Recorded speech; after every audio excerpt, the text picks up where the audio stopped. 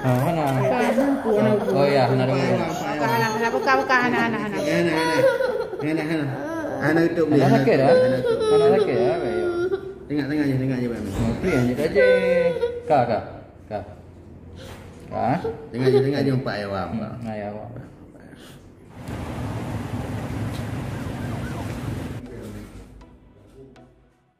Assalamualaikum teman-teman Apa kabar semuanya? Semoga sehat selalu Baik, di kesempatan kali ini saya mau sharing sedikit Tentang hal-hal atau kebiasaan yang dilakukan oleh orang tua atau petugas kesehatan Saat di rumah sakit atau saat melakukan tindakan pengobatan pada anak.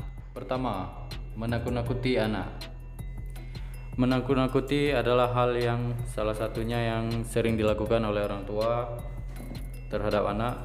Misalnya sering kita sering ditakut-takuti terhadap jarum suntik jangan bandel nanti disuntik sama perawat atau saat memberikan pengobatan adik harus minum obat atau tangannya harus dibersihkan lukanya. Kalau enggak nanti tangannya dipotong. Itu juga salah satu contoh menakut-nakuti anak. Itu hal yang tidak baik dilakukan. Yang kedua membohongi. Membohongi juga sering dilakukan oleh orang tua atau petugas kesehatan saat memberikan pengobatan kepada anak. Salah satu contohnya seperti yang menakut-nakuti tadi, kalau tidak mau diobati nanti tangannya dipotong atau bohongi dengan cara yang lain. Hal ini sangat tidak boleh dilakukan pada anak karena ketika kita membohongi anak, kita menghilangkan kepercayaan kepada anak yang pertama. Yang kedua, kita telah mengajari dia berbohong. Saat melakukan pengobatan berikutnya lebih sulit lagi karena dia tidak percaya lagi kepada kita. Ketiga, mengiming-imingi sesuatu atau menjanjikan sesuatu. Contohnya, adik lukanya harus diobati, nanti akan dibelikan coklat, akan diberikan mainan. Ini merupakan juga hal yang tidak baik kita lakukan, apalagi kalau kita tidak membelikannya, tidak menepati janjinya. Ini termasuk juga membohonginya. Hal ini tidak baik dilakukan karena anak nanti akan terbiasa lakukan karena ada yang dijanjikan. Keempat, memaksa. Apabila hal-hal sebelumnya tidak berhasil dilakukan, biasa yang dilakukan oleh orang tua atau petugas kesehatan memaksa anak untuk diberikan tindakan pengobatan. Walaupun anak tidak mau menangis-nangis, tetap dipaksa untuk diberikan pengobatan walaupun dia menangis. Hal ini merupakan salah satu juga hal yang tidak baik dilakukan karena akan menyebabkan trauma pada anak. Kelima, mengalihkan perhatian.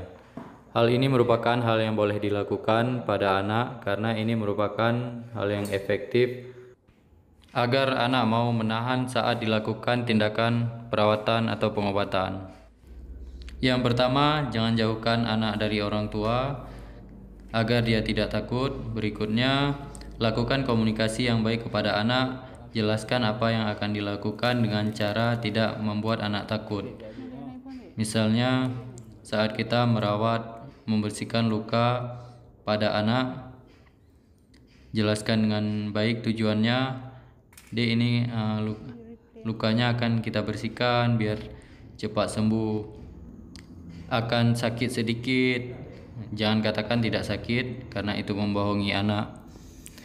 Cara ini mungkin uh, kalau pertama kali sulit dilakukan, tetapi kalau sudah biasa kita lakukan seperti ini, anak akan percaya kepada kita dan untuk pengobatan berikutnya akan lebih mudah. Membawa anak ke rumah sakit atau melakukan tindakan pengobatan kepada anak merupakan salah satu hal yang sulit dilakukan karena anak sangat takut itu juga dipengaruhi karena kebiasaan kita menakut-nakuti anak.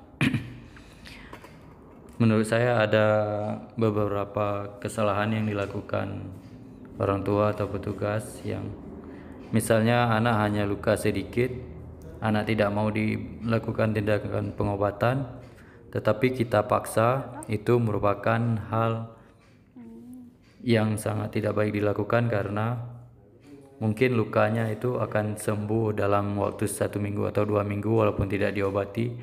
Tetapi trauma pada anak mungkin bisa lebih lama hilangnya atau bisa berakibat tidak baik pada anak. Baik, terima kasih pada terima kasih bagi teman-teman yang telah menonton. Menurut teman-teman, apa kebiasaan lain yang biasa dilakukan terhadap anak saat melakukan tindakan perawatan atau pengobatan? Silakan klik di kolom komentar. Sekali lagi terima kasih. Assalamualaikum warahmatullahi wabarakatuh.